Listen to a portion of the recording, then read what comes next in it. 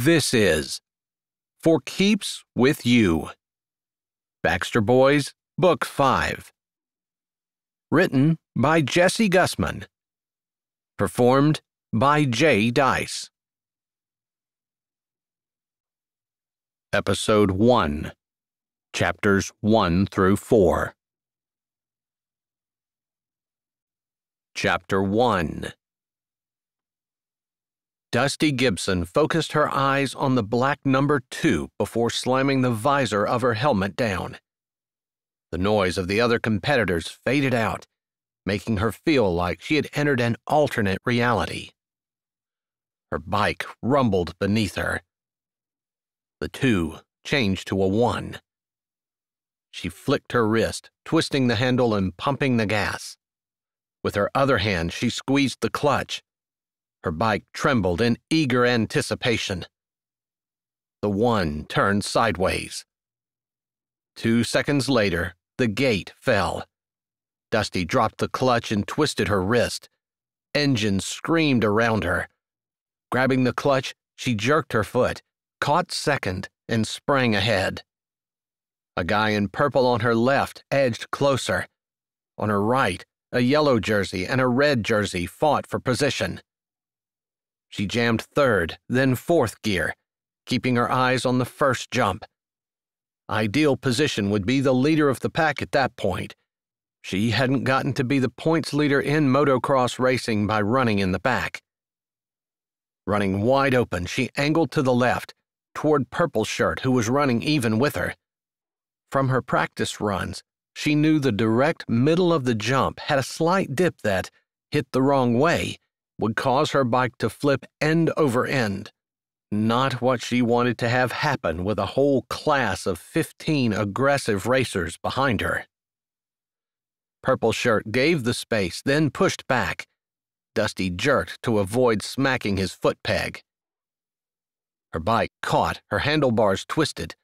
She jerked them back, keeping the throttle on wide open. Sweat trickled down her forehead.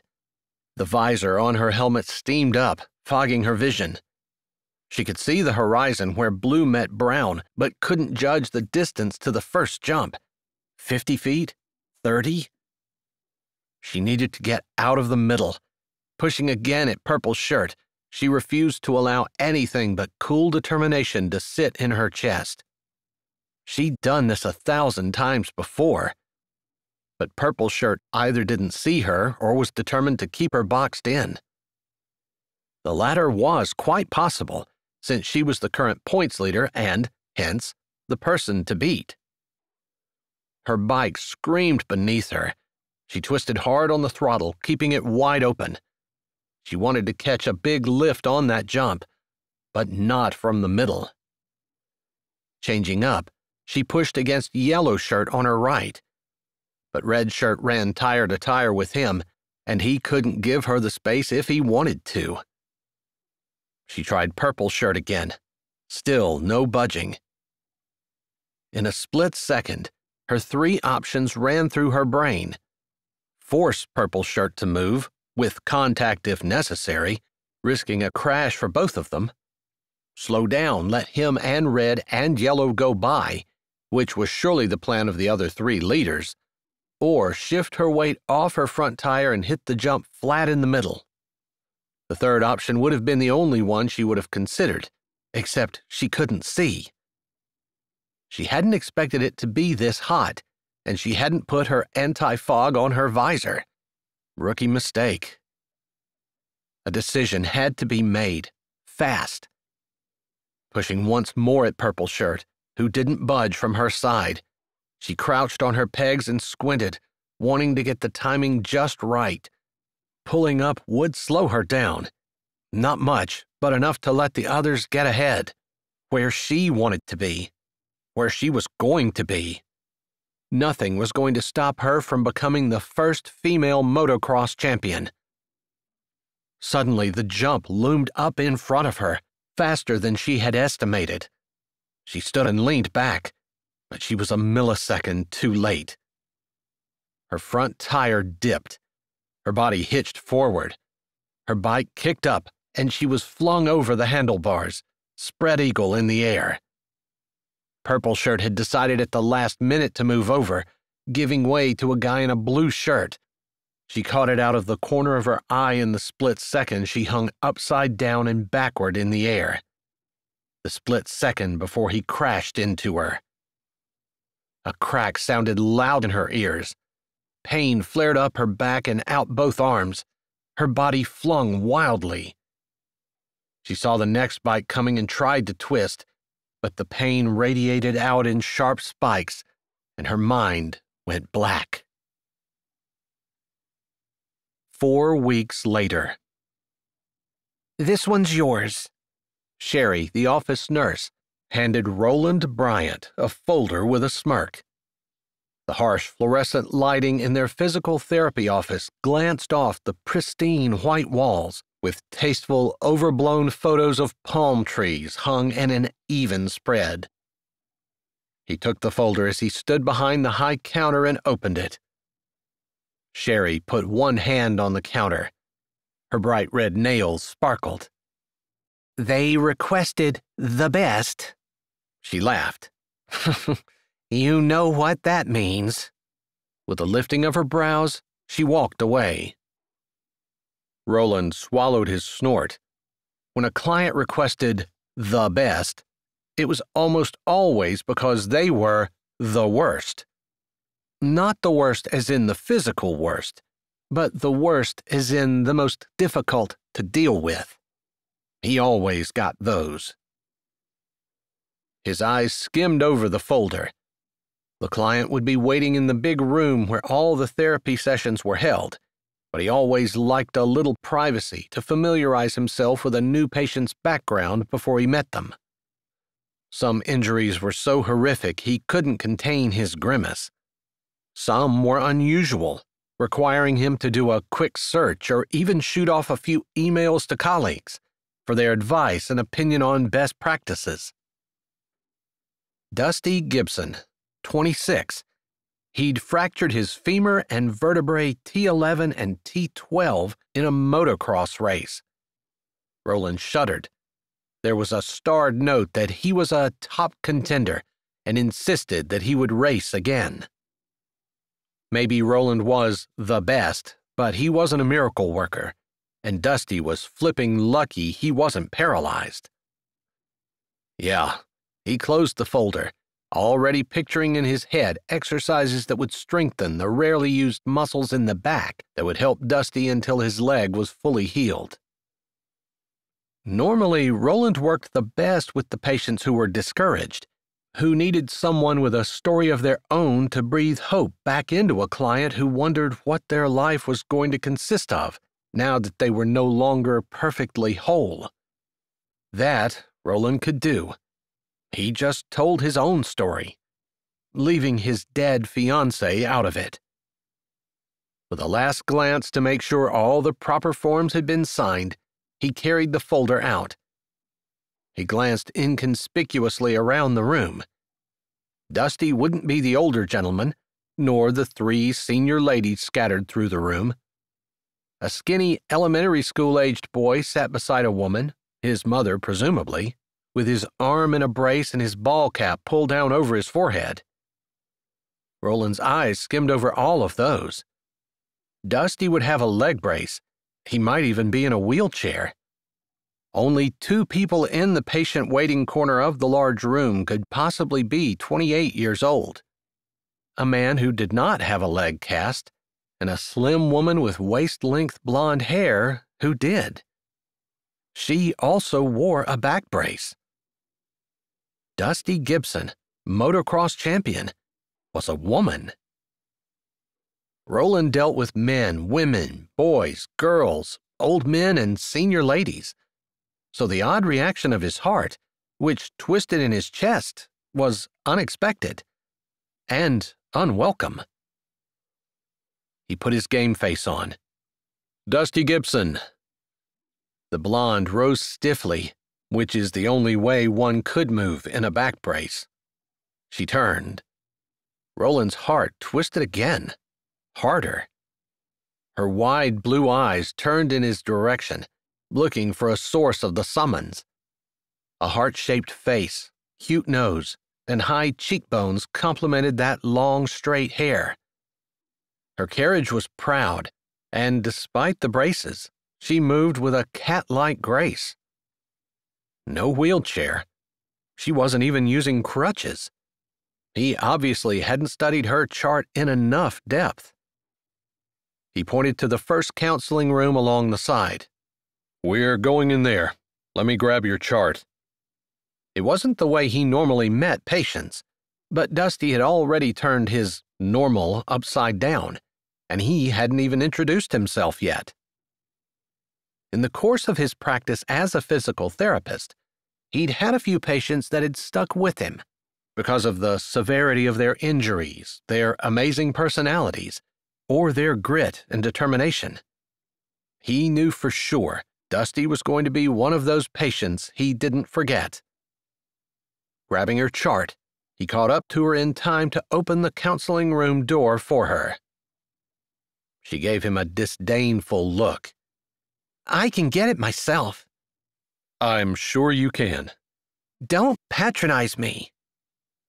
She wasn't the first person who came in for therapy with a bad attitude. Now wasn't the time for tough love. That would come soon enough.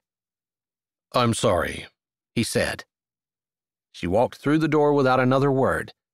He followed, closing it behind him. Chapter 2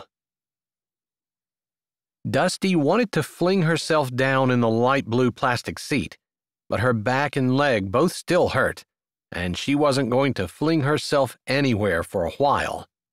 So she sat, gingerly, hating the fact that her once agile and strong body was crippled and painful. It wasn't the therapist's fault, though. I'm sorry I snapped at you, she said grudgingly as the man dressed in khaki pants and a blue polo with the logo of the therapy place in white letters on his shirt stopped in front of her. It's okay. I know this isn't where you want to be. She snorted. Not even close. So that's my job, to get you better so you don't have to come here anymore. The guy was affable and not bad looking. She gave him a half smile. Let's get started. I think that's my line. You gotta be fast if you want to beat me. Let's start at the beginning then. He held out his hand. I'm Roland, and I'm going to be coordinating your therapy for the next six months or so.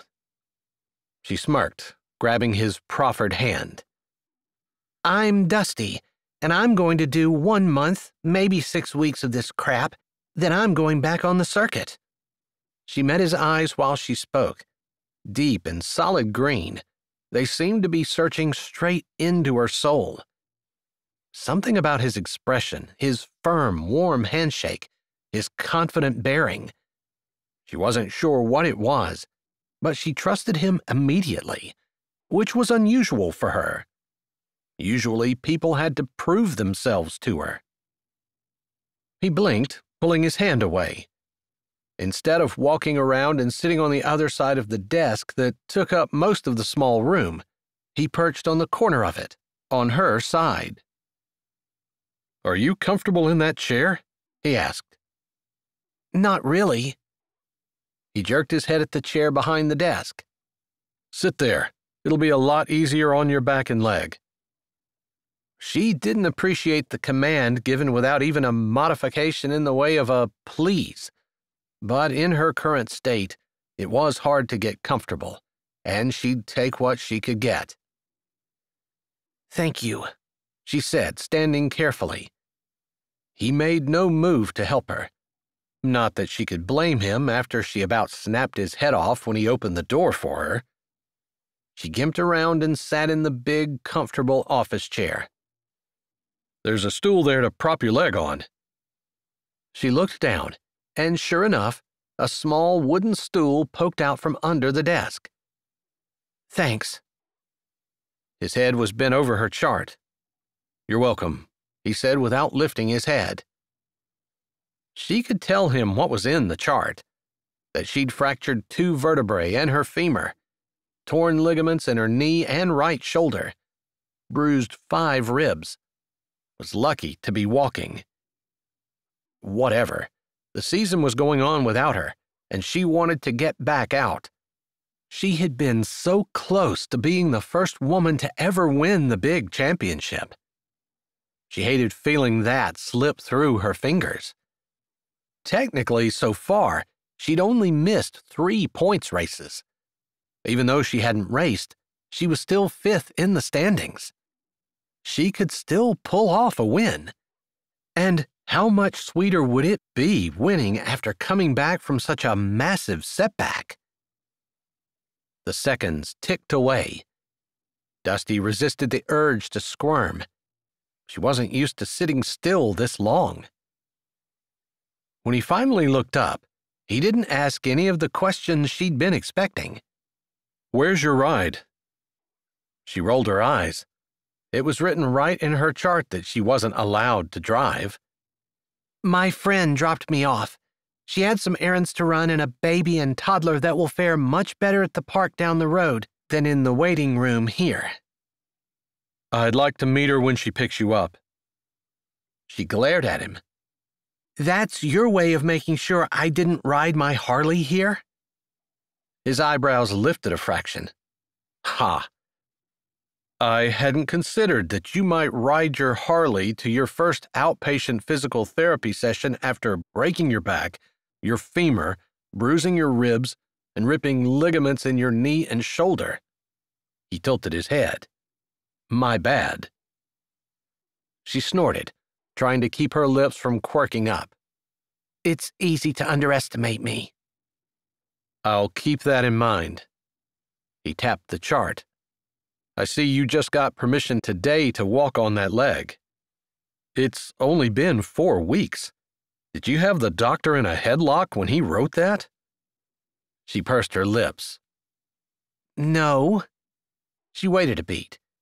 I had him pinned on the floor with his arm twisted back and up around his ear. Crossing her arms over her chest, she waited. He nodded like she'd told him the truth. Another thing to keep in mind. Her eyes ran over his torso and noted how his biceps strained against the sleeves of his polo shirt. She wasn't going to manhandle him. Not that she was used to winning in physical contests. Soaking wet, she might weigh 110 pounds. No, if she wanted to beat the boys, she had to do it on her bike. And right now, she needed this guy to help her. Listen, the doc at my appointment today didn't really want me walking without the crutches. But my femur wasn't a compound fracture, it was just a crack and the x rays clearly showed that a good solid bit of bone is formed over the split. The best thing I can do for it is to start using it regularly. His lips thinned, but he didn't argue with her. She appreciated that quality in a man. Well, you definitely surprised me when you're only four weeks out and don't have crutches. He crossed his arms over his chest. His shirt stretched tight. Dusty kept her eyes pointed up at his face. A wheelchair wouldn't have surprised me. He wiggled the folder that was under his arm. I definitely knew I needed to go back and read your chart in detail. His jaw stuck out. Some clients I have to motivate to move, and some I have to hold back. I know what category you belong to. Me too, and you're not holding me back. There's a big race in six weeks, and I'm planning on being in it. His mouth tightened, and his eyes slid away. But again, he didn't argue. Good. You've got to understand, Dusty, that doing too much can be just as detrimental as not doing enough. I'm on board to get you up and moving like you're used to, without pain, as fast as we can. I'll work with you as hard as I can, but in return, you've got to promise me that you're not going to jeopardize our progress by pushing farther than I say you can. He raised his brow. She dropped her eyes. Everything in her was on go fast. She didn't really have another speed. But again, that feeling that she could trust him sat like a comforting hand on her shoulder. Dusty, you broke your back. You're very lucky we're talking about getting back normal motion instead of me teaching you how to empty your catheter bag. She jerked her head. It didn't happen, and we're not talking about it. I think you can regain full motor function, and I think you can live pain free for the most part. But only if you do this right. You've got great reports from your surgeries and from the hospital therapists. Let's do this thing right, Dusty. She found herself nodding before she even realized it. Okay, I'll do what you say. That's the attitude. He stood. Let's go out and get started. She struggled to her feet. I'm going to show you some exercises you can do at home. You're going to be in here every day for a few weeks, but you can still practice at home. In the afternoon if your appointment is in the morning, or in the morning if you're seeing me in the afternoon. Always you. He opened the door and held it for her. I get the tough cases. She smirked, then looked pointedly at his hand on the door. Thank you. He smiled, showing a strong jaw and straight white teeth. You're welcome. He'd definitely been right that Dusty was going to challenge him, constantly pushing to do more, even when he could see the lines of pain tightening her eyes and mouth. It was funny. Some patients he had to practically whip to get them to do what needed to be done. With Dusty, he needed a bridle and a set of reins to pull back on with all his might. And even then, he wasn't sure he could slow her down. You can do this one on a step, he said, leading her to the small, sturdy stair they used that was free. Other therapists with other clients were working all around, but he was used to it, and it didn't bother him. Dusty was single mindedly focused on doing every exercise correctly and for as long as she could.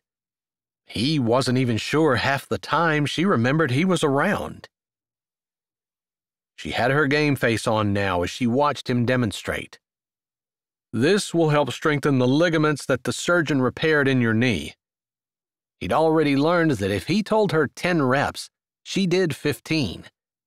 So he instructed her to do two thirds as many as he wanted, hiding his satisfied smile when she did exactly what he expected and did almost the exact number he wanted her to do to begin with. Their entire session went like that. Somehow the hour flew by. He was showing her the last exercise when Dusty got a big smile on her face and waved. He blinked. Dusty wearing a full on smile was gorgeous. Shoving that unprofessional thought clear out of his head, he looked over at the door. A woman with two toddlers, one with tight, curly hair as black as night, and one with hair as red as her mother's. The woman waved back. Do you need to tell her you'll be a minute? No. Dusty imitated the position he'd shown her and did the exercise perfectly. A couple of minutes later, she straightened. Give me a minute, and I'll get you a sheet printed with all the exercise you'll need to do this evening or tonight. He paused and waited until Dusty met his eyes. Don't overdo it. She smiled sweetly. I won't. He wasn't fooled by that sweet smile. He narrowed his eyes. Did you take your prescription pain pills? Her smile disappeared. No, and I won't. I'll deal with the pain. I can't risk getting addicted. He shook his head. At least take some over the counter stuff. You can take two different kinds as long as they don't have the same active ingredient. He tilted his head and gave his most charming smile. This will be a lot easier on you if you take the edge off at least. Her lips pulled back, but her smile did not reach her eyes. I'll consider it. It was probably the best he was going to get from her. I'll be back in a minute with your printout. Okay. She turned and gimped to her friend. He went over to his laptop and typed up the session notes. Then he grabbed the exercises she needed and printed them out. Putting them in a folder, he walked over to Dusty and the red haired woman. Roland, this is Harris Baxter. Harris, this is my torturer, Roland. Apparently, he's the best they have here. Roland's brows went up with that introduction, but he shook Harris's hand.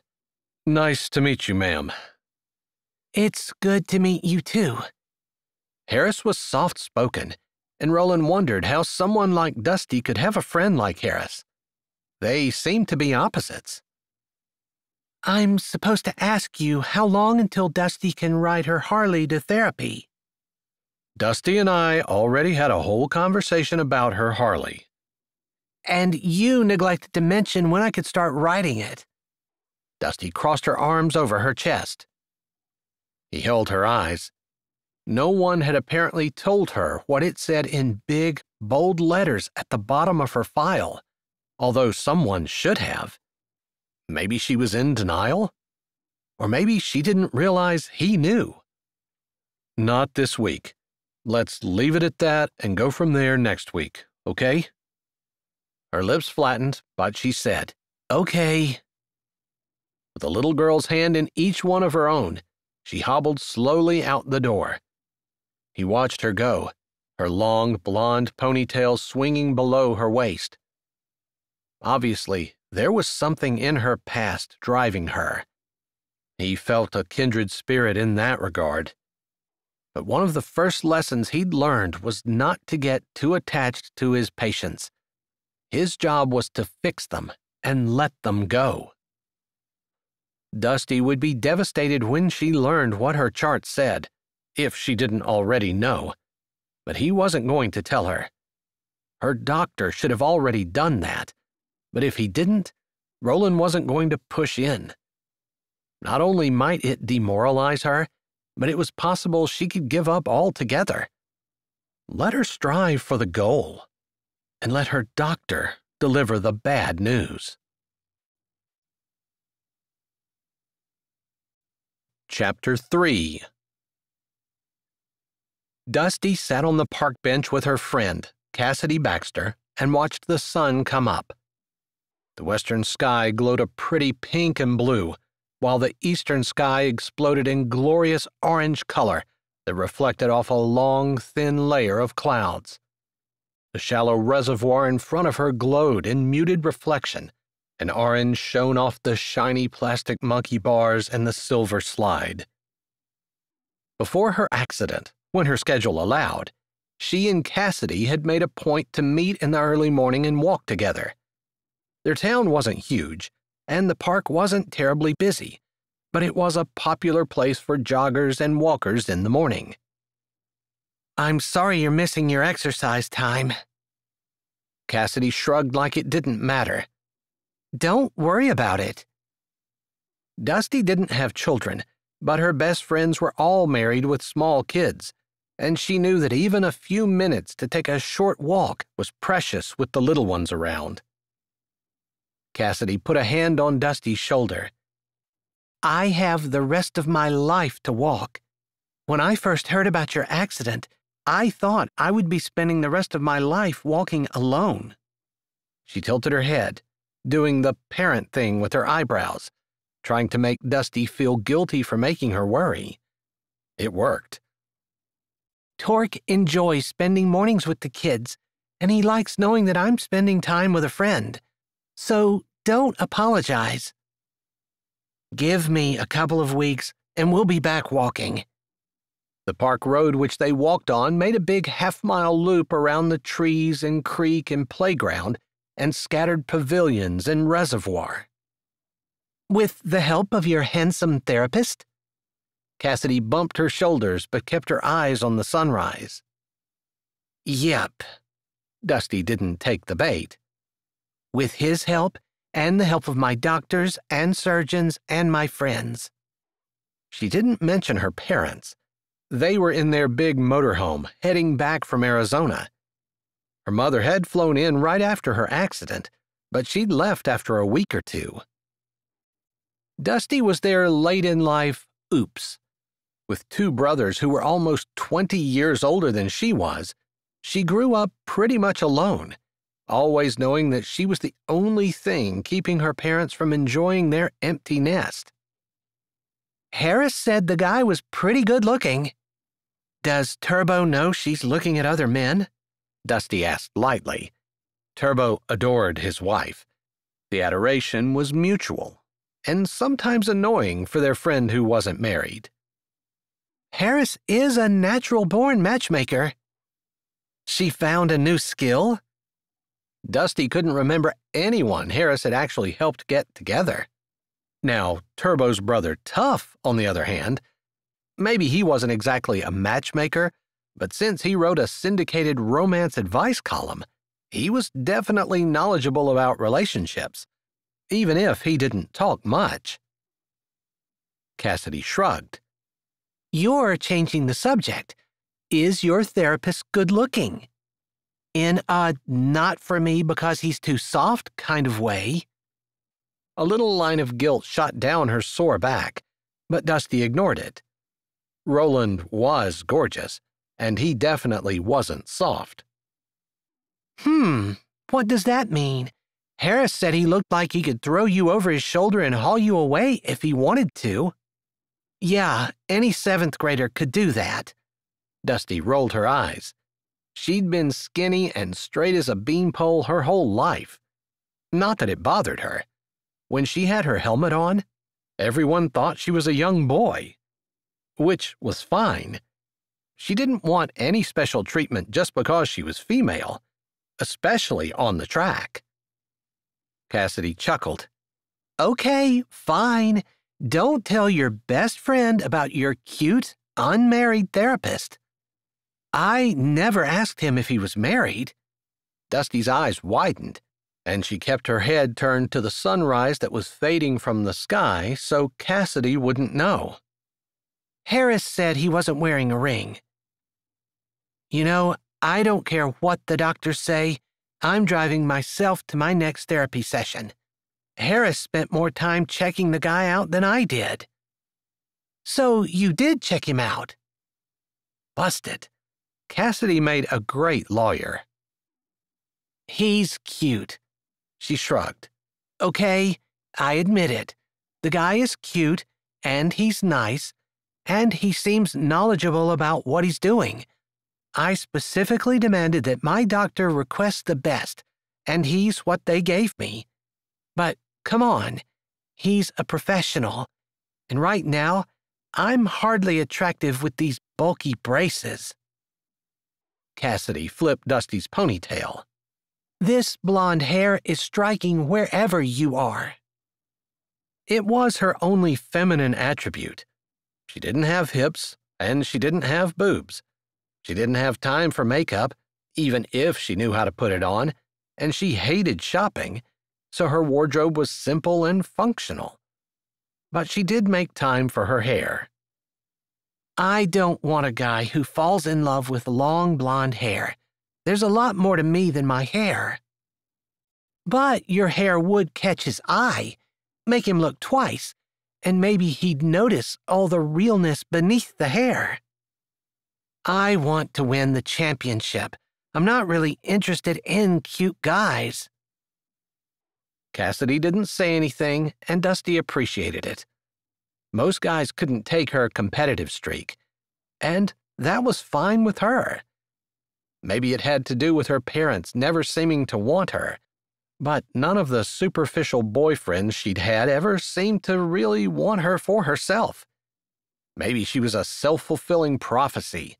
She and Harris and Cassidy and their other friend, Kelly, had more than one discussion about Dusty's inability to trust a guy when he said he'd stay. Well, Harris seemed impressed with this one.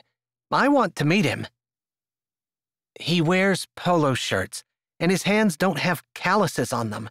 I could ride circles around him on my bike. He's not for me.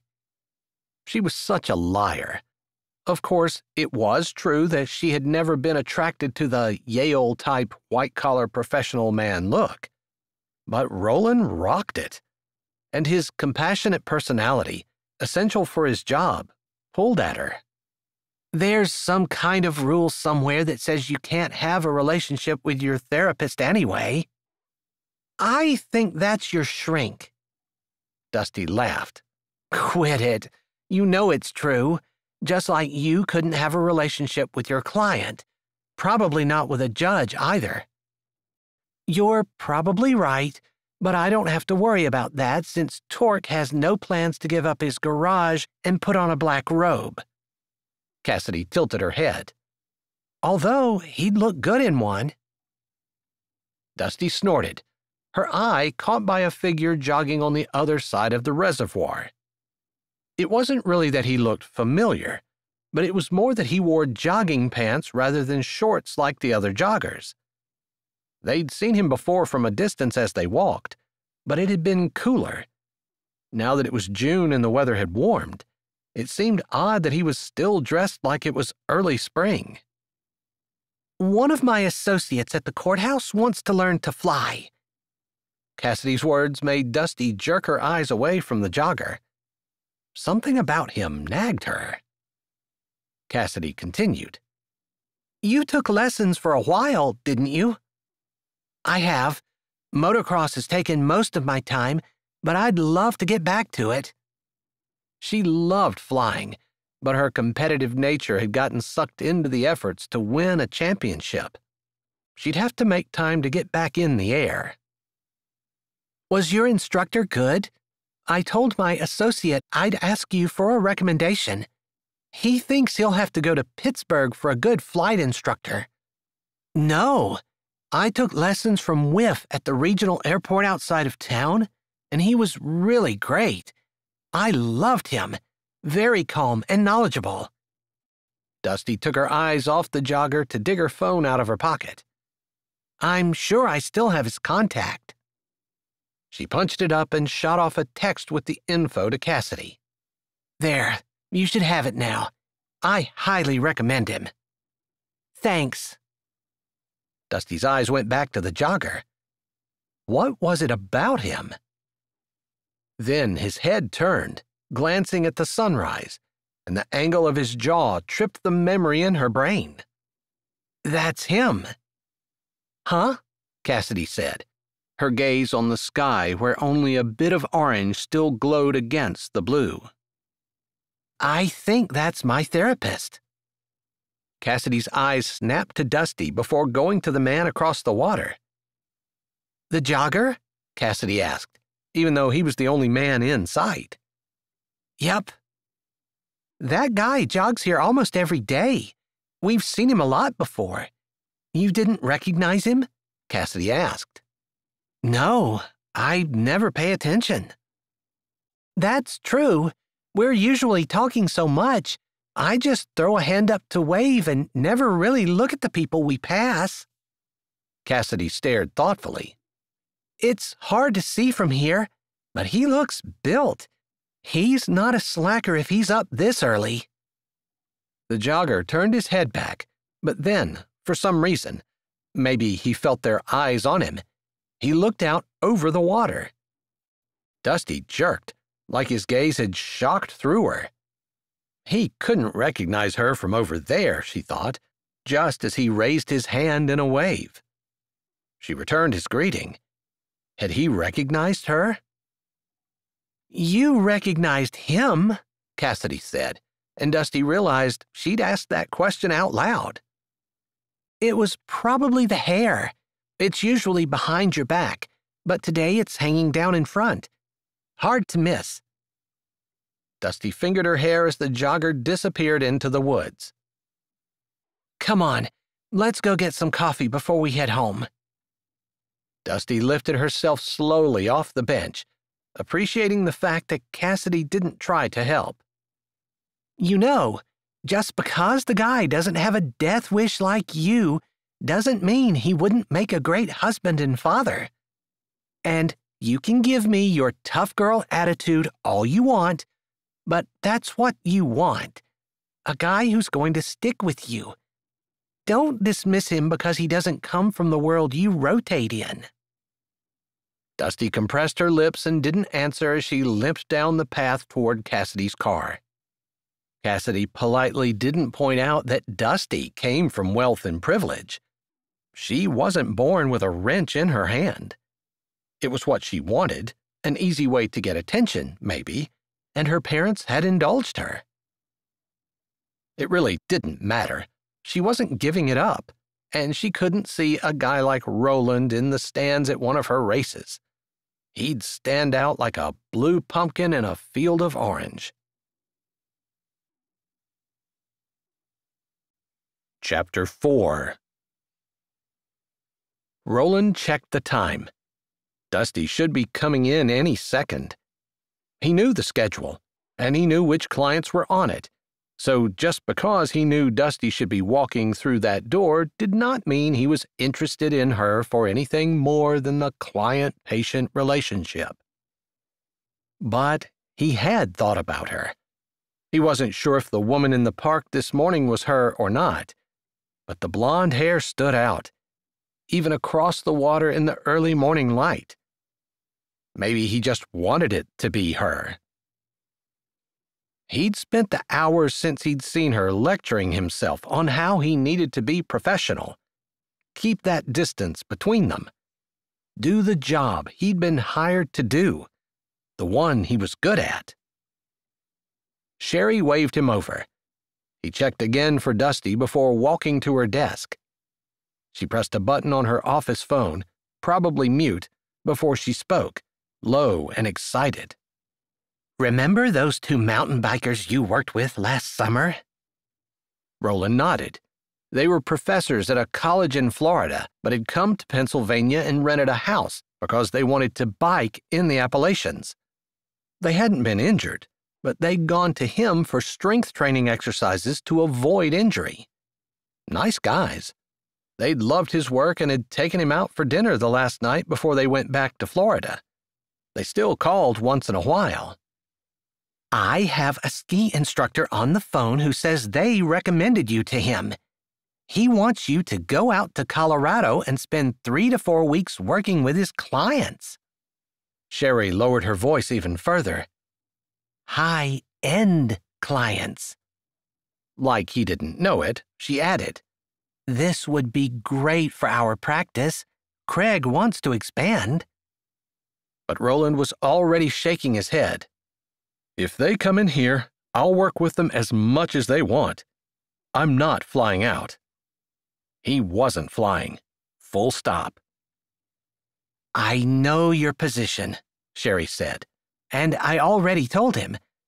They can't fly in. She gave him a prodding look. This would be fabulous for your career. No. He said it firmly and clearly. He was not flying. Not ever again. He'd barely survived the last time. Janice didn't. Sherry's face fell, but she nodded. His attitude about flying was not a secret. He didn't care how much it hurt his career. He walked away, looking around for Dusty, putting the opportunity he was missing out of his head. It wasn't worth it. Dusty walked in, alone again.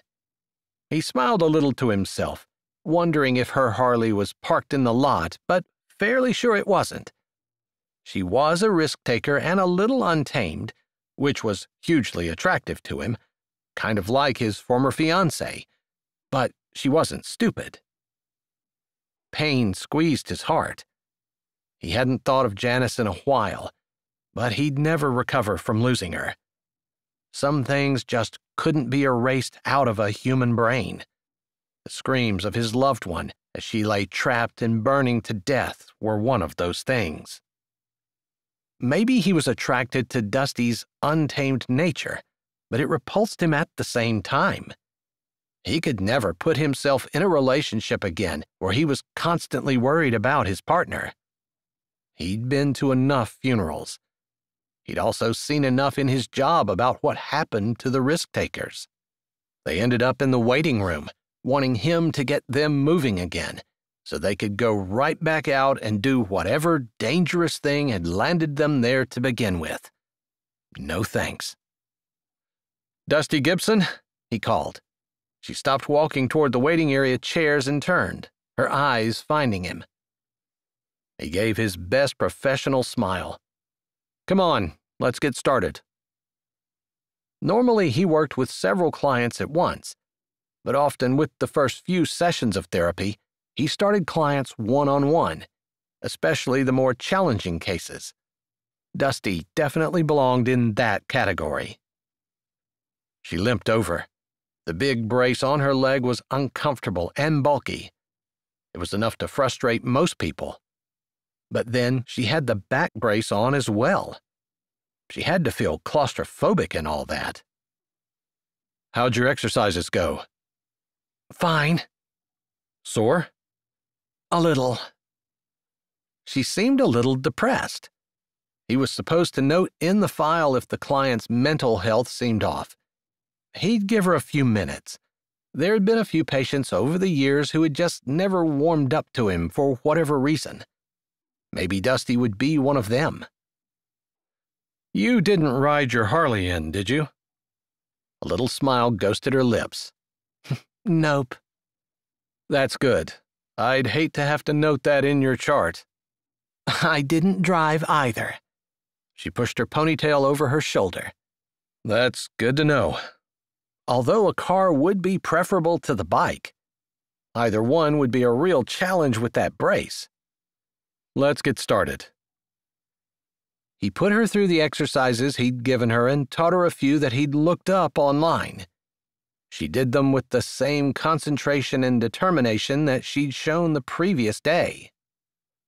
Toward the end of the session, she still wasn't smiling.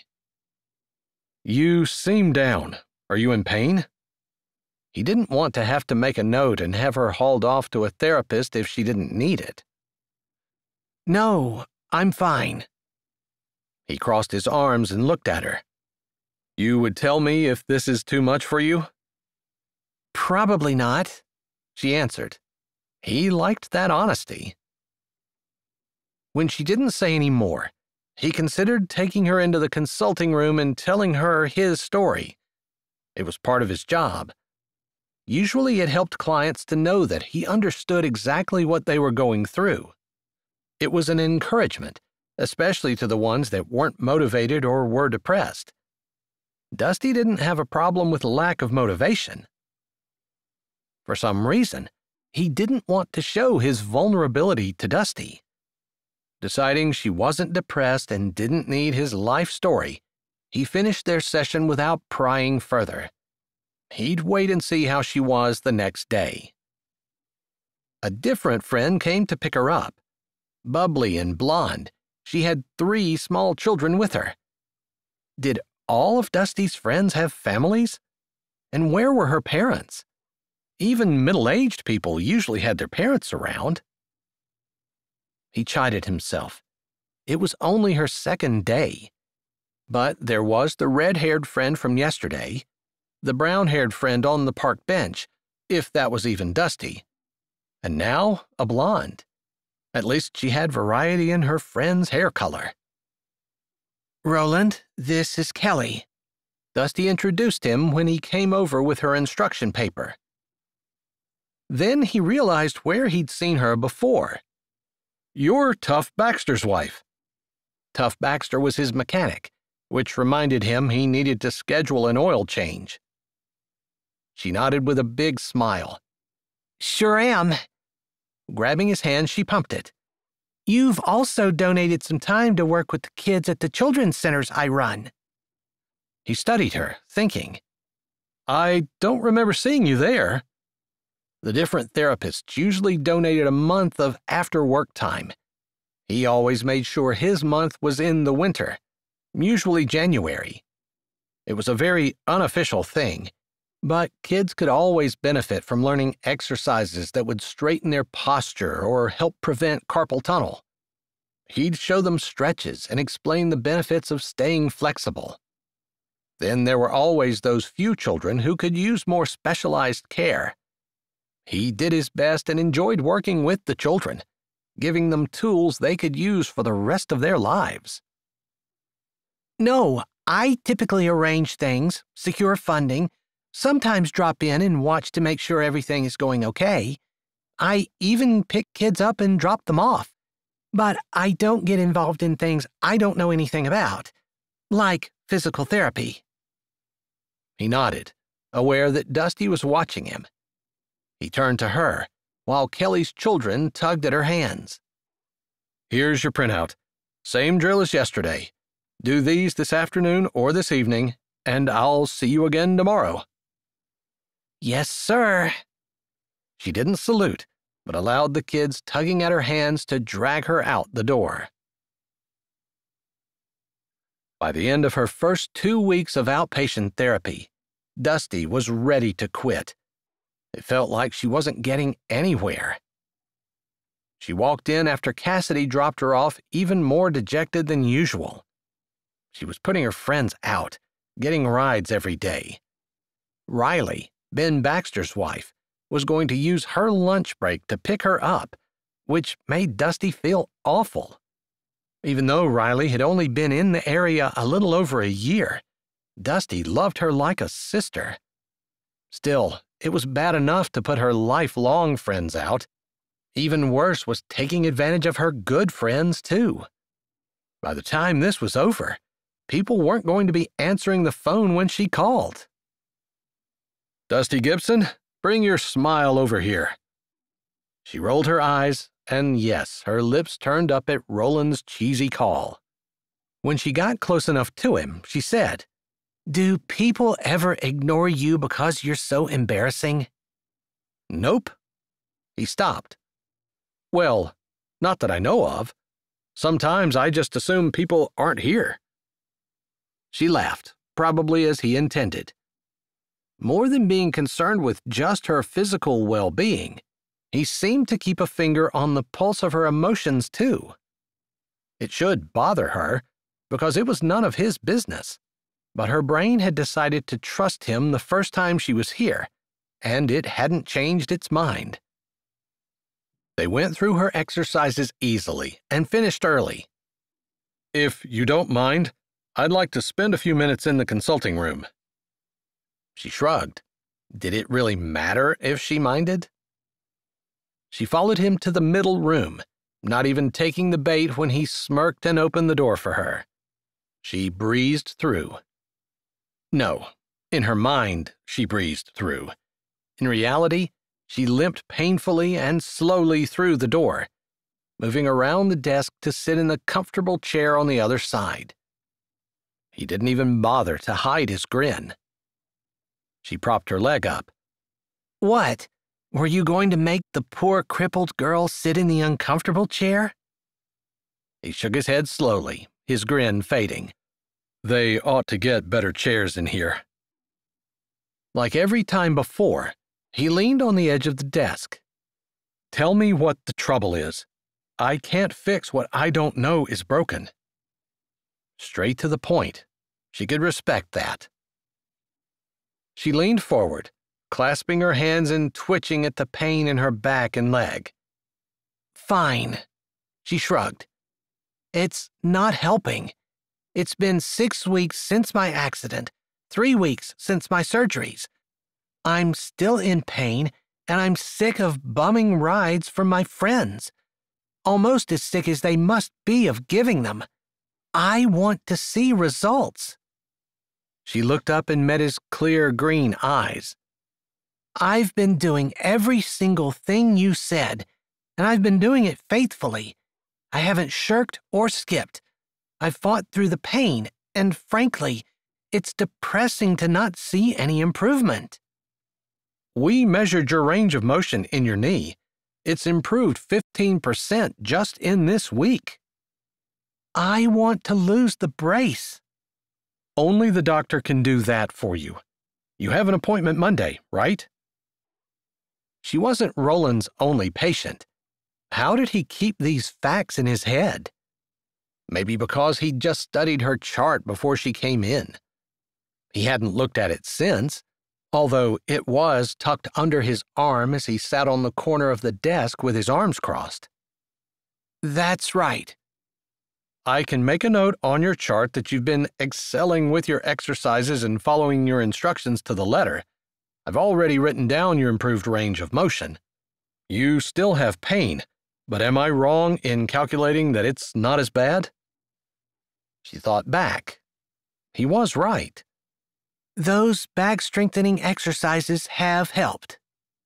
They're designed to train the muscles that support your spine. It takes some of the pressure off and helps with the pain. It has, I guess. She looked down. Is that what's really bothering you? For some reason, his question brought tears to her eyes. She kept her eyes down on her lap where she picked at her fingers. She sighed blinking back the annoying weakness of tears. There was a race today. I should be checked in and doing my practice laps. Instead, I'm stuck here, barely able to move and dependent on my friends to haul me around. Roland didn't move, and he didn't say anything. She appreciated the time to get her features composed. Finally, she looked up. I'm sorry my bad attitude was so awful that you noticed. I was just a little down about the race, but I'm still committed to pounding out these exercises and getting better. He nodded, his brows drawn together. I really don't think your friends mind taking you around. They love you and appreciate the opportunity to do something for you. Isn't that how you'd feel if your positions were reversed? Guilt made her bow her head again. It is. I'm the one that resents my loss of freedom. I wish I could make this process easier or faster, but in order to do it right, it has to be like this. She put her hand up. I know. That's why I've tried not to complain. But you asked. He grunted a laugh. That's true, I did. She lifted her head up. You just don't understand what it's like.